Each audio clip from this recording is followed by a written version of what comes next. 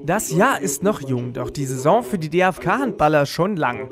Nach 19 Spielen stehen die Leipziger nur auf dem 15. Tabellenplatz.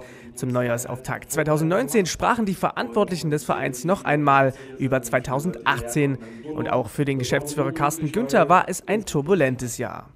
Ja, ein sehr lehrreiches Jahr äh, für uns. Es gab viele Auf und Abs. Äh, wir haben bittere Niederlagen eingesteckt, wir haben aber echt äh, heiße Handballfights ge äh, geliefert.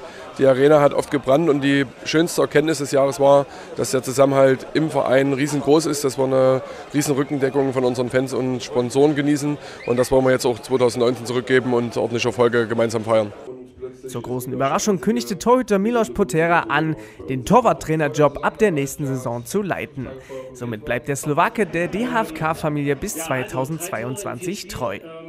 Ich bin sehr zufrieden damit, dass ich kann weiter bei der DHFK äh, Handball mach, äh, mitmachen und ich hoffe, dass in Zukunft wird auch der Verein mit mir zufrieden. Über die nächste Saison wollte hier noch keiner reden, denn erstmal müssen die Leipziger nach einer langen, intensiven Vorbereitungsphase die zweite Hälfte der Saison meistern. Jetzt haben wir erstmal drei sehr intensive Trainingswochen hinter uns, haben uns richtig gut vorbereitet, jetzt kommt noch die Feinschliffwoche und dann geht es nach Bietigheim, da wollen wir zwei Punkte holen, alles andere ist erstmal egal. Am 10. Februar geht es dann für den SCDFK in Bietigheim mit der Handball-Bundesliga weiter.